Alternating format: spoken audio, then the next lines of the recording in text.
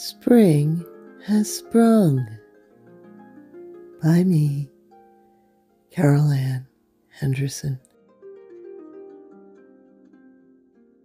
Seasons change as a warm wind blows across the landscape of the heart.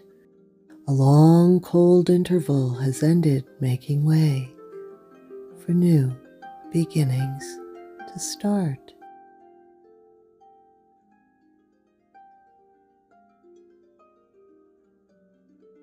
Surrender the past to experience, to this beautiful new life expanding breeze.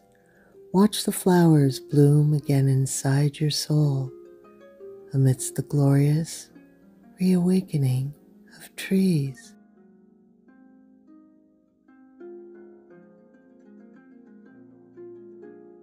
Appreciate the good earth beneath your feet Give thanks for the extraordinary bounty of Mother Nature's gifts.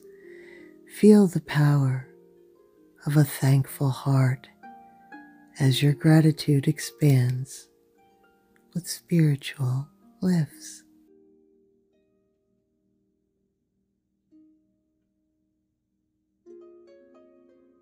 Fear not all that is new before you, for these are gifts from God in heaven above realizing that the blessings never stop coming from His infinite resource of real love.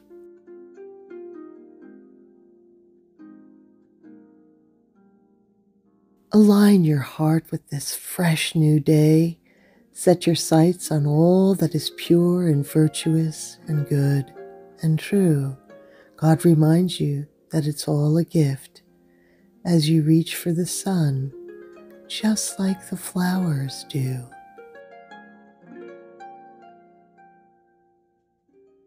Quiet your mind as your senses reawaken. Focus on the ever evolving beauties of spring. Release yourself from old man winter. Let your soul now be free to dance and giggle and sing.